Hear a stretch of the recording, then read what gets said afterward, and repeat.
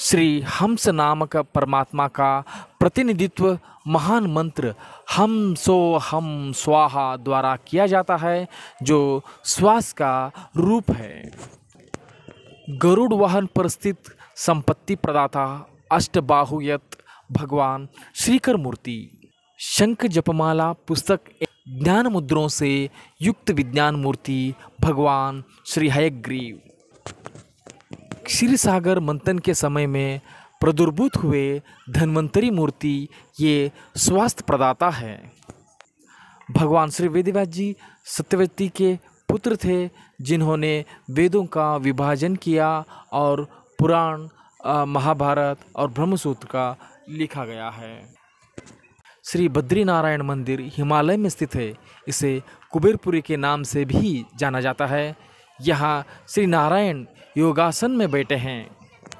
ये है श्री वेंकटेश्वर बालाजी।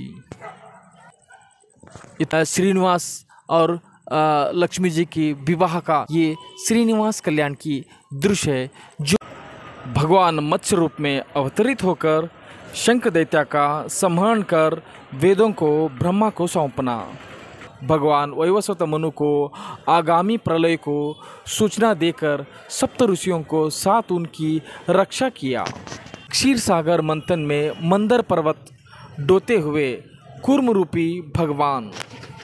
दानव आदि हिरण्याक्ष का संहरण कर धरती का रक्षा करते हुए श्री वराह रूपी, ये जो दोबारा, यानी आदि हिरण्याक्ष और हिरण्याक्ष दो बार इसका अवतारित हुआ है दानवों का, और उसके बाद दो बार ही वराह स्वामी ही उनका वध किया है।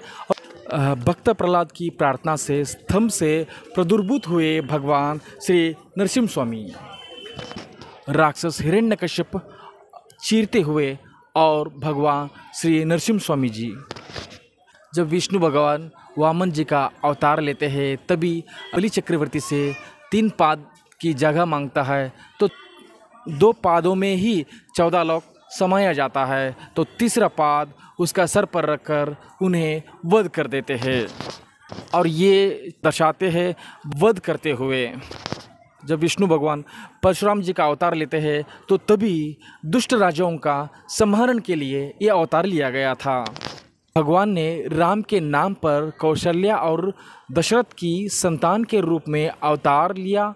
श्री राम जी जब विश्वामित्र के साथ स्वयंवर में आते हैं। सीता स्वयंवर में शिव धनुष को तोड़ते हुए श्री भगवान श्री राम जी।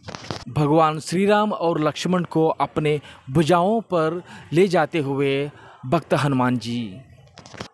जब विष्णु भगवान वासुदेव देवकी को वरदान रूम से पुत्र बनकर आऊँगा, जो वर दिए थे, उसके अनुसार भगवान वासुदेव बंदीखाना में देवकी वासुदेव को दर्शन देकर बाल रूप में उनको वश हुआ।